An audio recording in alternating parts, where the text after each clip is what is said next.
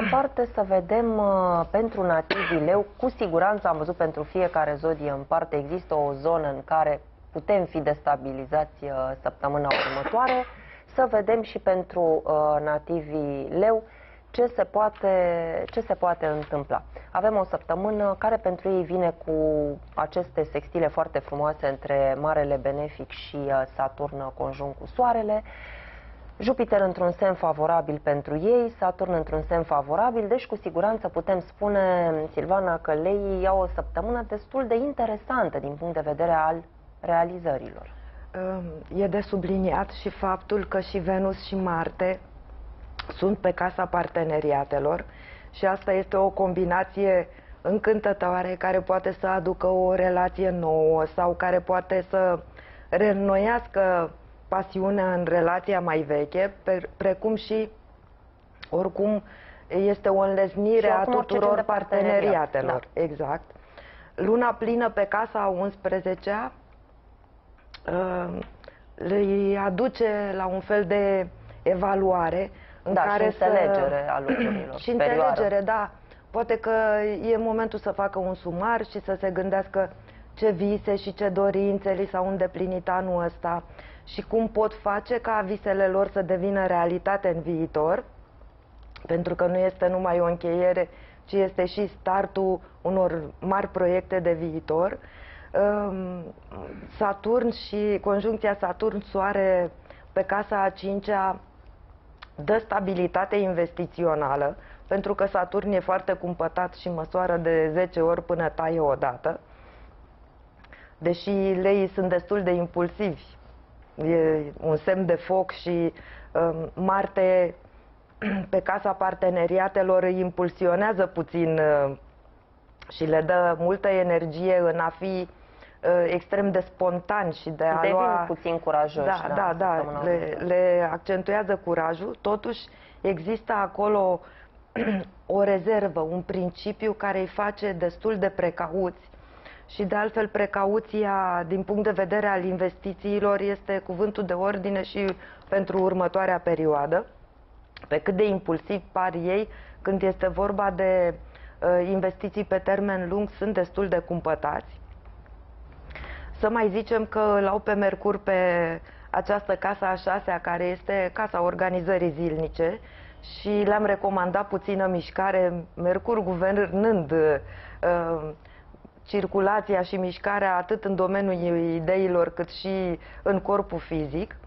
Sigur că aici, în conjuncție cu Pluton, uh, le poate da mici sâcâiel pe articulații, ca să vorbim puțin și de sănătate, deci o mișcare lejeră nu intensă care să le provoace disconfort, um, îi consider inspirați totuși, uh, destul de romantici, destul de uh, înclinați spre viza, visare, mai ales că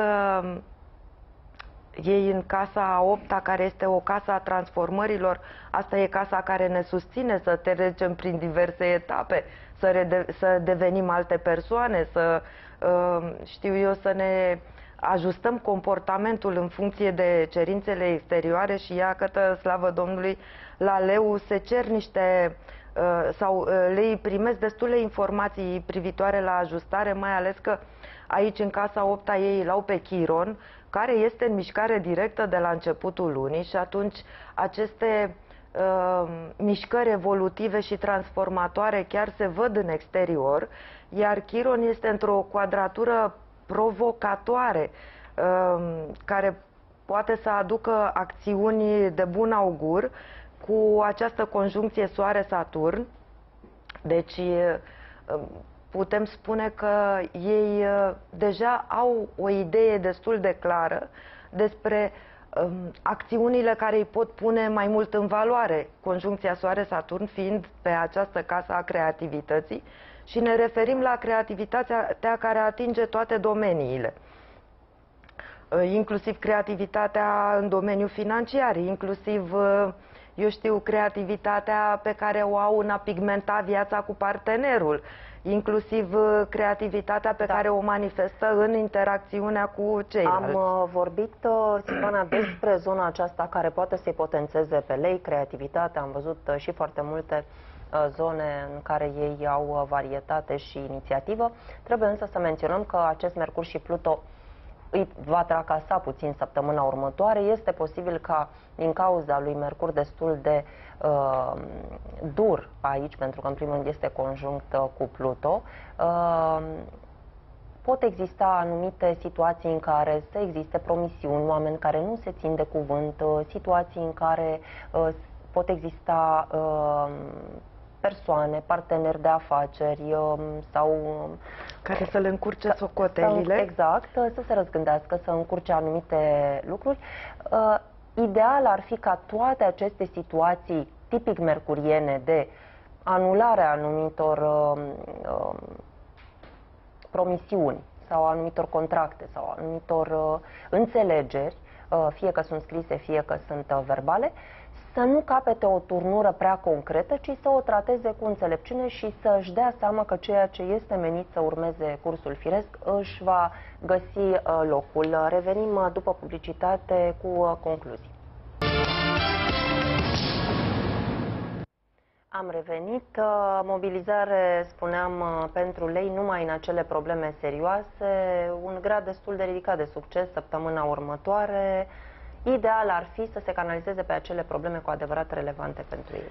Și dacă ar mai fi ceva de spus, ar fi de spus că această lună plină de pe casa a 11-a îi face pe lei foarte înclinați către acțiuni caritabile, umanitariști, ei se gândesc uh, intens și profund cu toată pasiunea semnului lor și la nevoile altora și n-ar fi de mirare să vedem mulți lei implicați în acțiuni caritabile și de binefacere și poate că ar mai fi o recomandare, ei au făcut tot ce au putut uh, cu Pluton pe casa a șasea uh, să restructureze multe domenii ale vieții lor și poate de acum încolo, mai ales că vin sărbătorile, uh, știind că au făcut tot ce au putut, este bine să-l lase Universul să facă și el în continuare ce are de făcut. Ceea ce n-a ieșit. Exact. Bun.